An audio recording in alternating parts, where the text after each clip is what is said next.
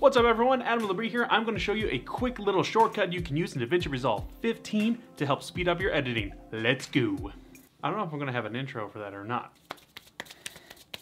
Okay, so this is what normally happens and what the shortcut can actually solve. Normally, in a situation like this, you'll have your timeline set up with all your clips, but one of the clips is out of order. In this case, the clip that shows me pouring water in the Chemex is before the shot of me actually pouring the grounds of coffee in it. Now normally what you would end up doing, you would click on the clip of me pouring the ground coffee into the Chemex, lift it up, move it over to the left, click on the clip of me pouring water into the Chemex over to the right, and then proceed to move the other clip back into its place, therefore swapping them.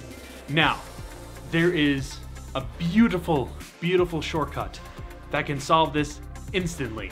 You're gonna hold down Control and Shift, and then using the greater or lesser symbols on your keyboard, move the clip that you have selected to left or right. We're gonna try this again. All right, so what you're gonna do is you're going to click on the clip you want to move. In this case, it's gonna be the clip with me pouring ground coffee into the Chemex. And then you're going to hold down Control, Shift, and then use the comma or lesser symbol, and then click that. And boom! Just like that, it instantly swapped the clips around. And what's even better about this, when you're holding Control and Shift and you keep messing with those two keys, it will move the clip any direction you want, moving any other clip out of the way. It won't extend it or shorten it, it's just going to switch them around.